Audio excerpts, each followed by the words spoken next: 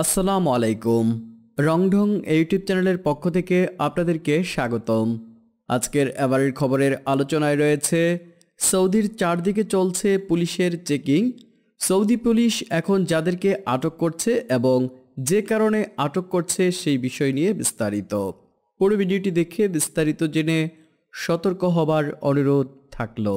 Saudi আরবের প্রতিটি শহরেই এখন শুরু হয়েছে পুলিশের ধরপাকড় অভিযান। আর এই অভিযানে যাকে পাচ্ছে তাকেই চেকিং করা হচ্ছে। বেশ কয়েকদিন ধরেই সৌদি পুলিশ প্রতিটি এলাকাতে অভিযান চালাচ্ছে। বিশেষ করে শপিং মল, মার্কেট, রাস্তার মোড়ে মোড়েও চেকিং করছে।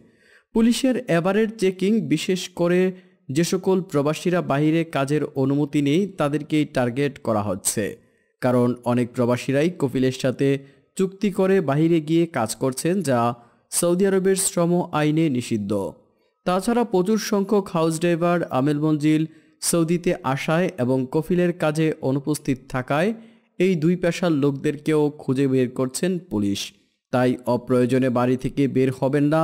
জানা গেছে, বৈধ ইকামা থাকার পরেও আমেল মঞ্জিল হাউস ড্রাইভার সাওয়াক্খাস পেশার প্রবাসীদের বাহিরে কাজে পেলে আটক করে সফর জেল দিয়ে দেওয়া হচ্ছে। তাই সকল প্রবাসীরা আপনারা নিজ নিজ কর্মস্থলে সাবধানে থাকবেন। বিশেষ করে যারা নিজ পেশার বাইরে গিয়ে কাজ করছেন, তারা সতর্ক থাকুন। কারণ এ সকল প্রবাসীদেরকে টার্গেট করে ইতিমধ্যে বেশ কয়েকবার সতর্ক করা হয়েছে সৌদি জাওয়াজাতের পক্ষ থেকে। খবরটি আপনারা যারা দেখছেন, তারা সকলে শেয়ার করে অন্যদেরকেও জানার সুযোগ করে দিন। আর আপনি আমাদের চ্যানেলটিতে নতুন হয়ে থাকলে সৌদি আরবের গুরুত্বপূর্ণ খবর জানতে রংঢং ইউটিউব চ্যানেলটি সাবস্ক্রাইব করুন। ধন্যবাদ সকলকে।